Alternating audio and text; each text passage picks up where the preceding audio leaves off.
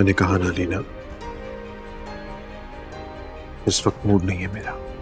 Thank you चलिए thank you अब देखते हैं कितनी देर में आता है।